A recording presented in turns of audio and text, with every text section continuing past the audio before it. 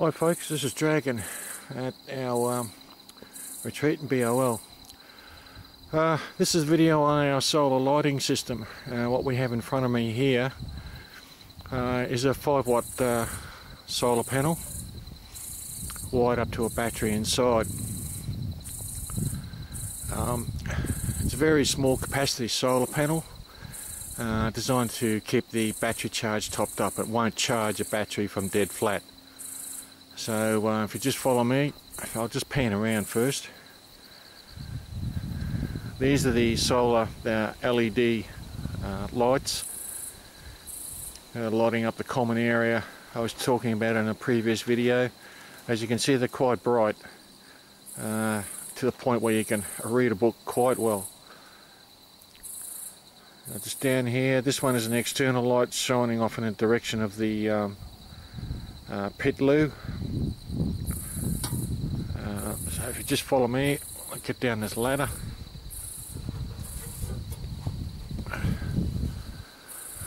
Okay, just standing back a bit. Now gives you some idea of the lighting um, from the um, solar battery system. Very bright in there. Uh,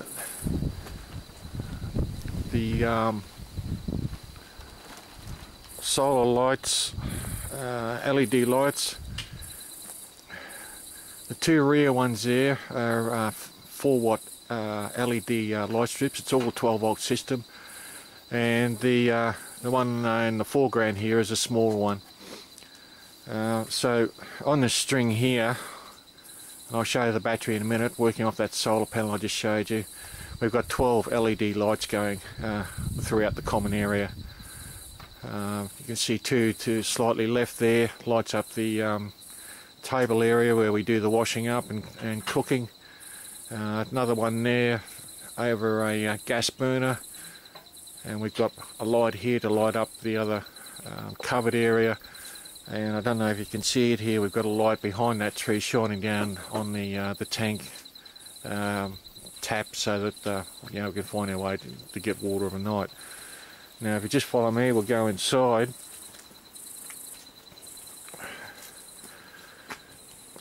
This is the inside of our storage van with the LED lighting. These are strip lights, um, the two rear ones we've had in here for about oh, seven years or so. Haven't had a fire. The one in the foreground is a much brighter one installed about 12 months ago. It's a 4 watt one.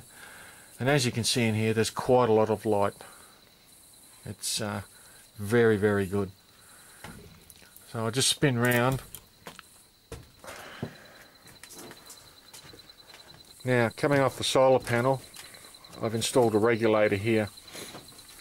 Uh, this is to regulate the charge into the battery during the day so that uh, it doesn't overcharge the battery uh, run it dry or um, you know buckle the plates and I'll just pan down and that's the battery there. Okay it's only a small capacity battery. Uh, there's an eye charge eye here what they call it here. Uh, when that's green the, the battery's fully charged.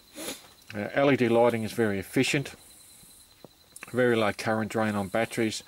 You can even use an old car battery. Uh, it won't start a car, but it'll have enough uh, oomph in it to, to drive LED lighting because uh, it's very, very low, uh, low current drain to drive LED lights. Uh, very efficient lighting. And each van is, has an independent system. Um, just walk over this way and I'll show you inside another van.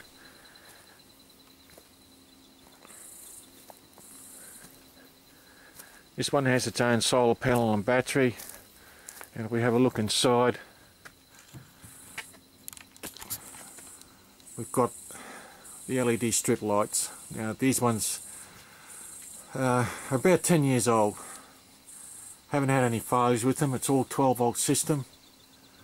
There's another one up the back there on the independent switch. I haven't switched on as the switch is up the back.